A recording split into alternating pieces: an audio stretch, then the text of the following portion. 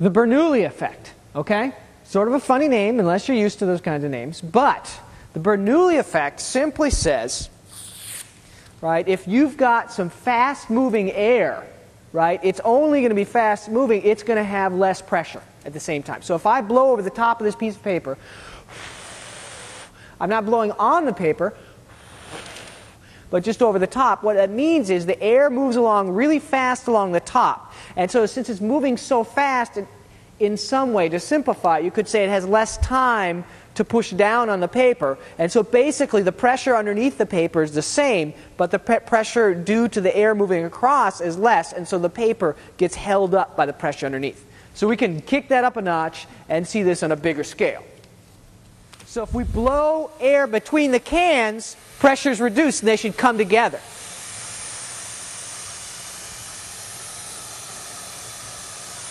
Just like that. Amazing. Here's kind of a long windsock out of plastic. It's just a giant plastic bag, and I sealed off one end.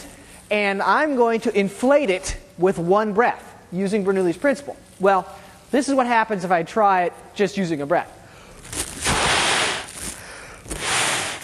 If I do that, I get about that much air in with two breaths. But Bernoulli's principle says that if I use a different technique, I can fill up the entire bag with one breath. So here goes.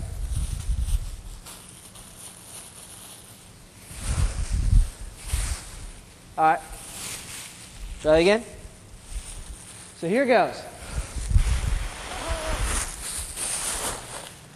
I filled up almost the entire bag with one breath.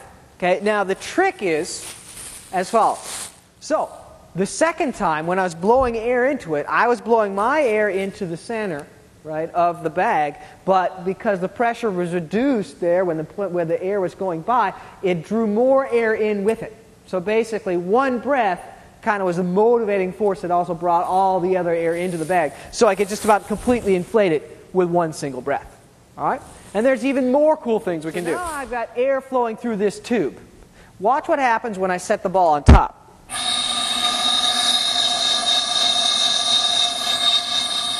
It just sits there and floats until I turn off the air. Now, what's going to happen when I turn the air off on when the ball's down here? Should shoot right out, right? It doesn't. In fact, it doesn't even fall out when it's upside down. What keeps it in there? Well, it's because, the, once again, the Bernoulli effect and the air pressure, the air has to flow all the way around the ball. And so basically, it keeps the ball in line, in check there, and it doesn't allow it to move because the air is moving around so fast that uh, it, it, it keeps it in the slot. All right. Now for the grand finale. So we already know that if I blow across the top of this piece of paper, we can pull it up. But that's just small scale Bernoulli effect. We're talking big scale here. So now let's do the finale. We need some serious power here. We've got a leaf blower. We've got a roll of toilet paper. Let's kick some Bernoulli tuchus.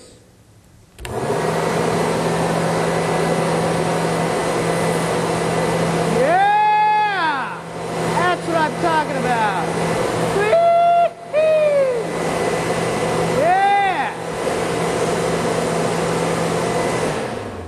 That's some serious Bernoulli effect. All right, remember the air is going fast across here, so the pressure is less on the top than below the paper, so it's lifted up and then it gets caught in the air, and that's how it gets a little bit forward. Great way to toilet paper the whole auditorium. See you next time.